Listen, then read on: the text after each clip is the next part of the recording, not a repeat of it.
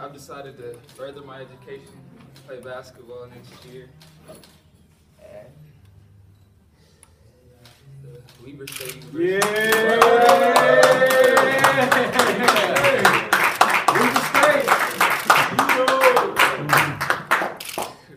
Five months ago, we sat down in, in Coach Herring's office. You didn't have any Division One offers, and, and you were, you know, kind of knew that this was the year. How, how does it feel now, five months later? Does it seem like a lifetime ago?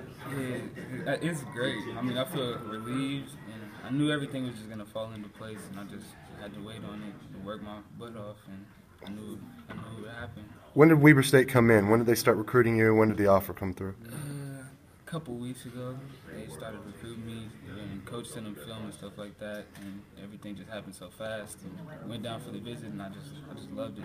Fell in love with it. You grew up here. You know, you, you probably born here. You're headed out to, to Utah. It's quite a ways away. What do you think about moving so far away from home? Um, I feel like it'll help me stay focused. I know uh, my mom really doesn't want me to move that far, but she knows it'll be good for me. So. Thank you. Uh, it's awesome, man. It just goes to show how good God is.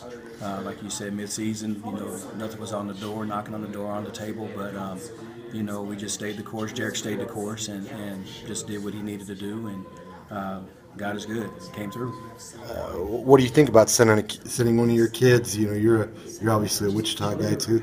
You're sending one of your kids who's like family to you, all the way to, to the West Coast or, or to Utah at least. What's what's that going to be like? You have a lot of late nights watching the games, huh? Oh, a lot of late nights, you know, and uh, a lot of lot of contacts too. But um, you know, uh, it's just like they say, you know, all these kids want, you know, they want those big time schools, you know.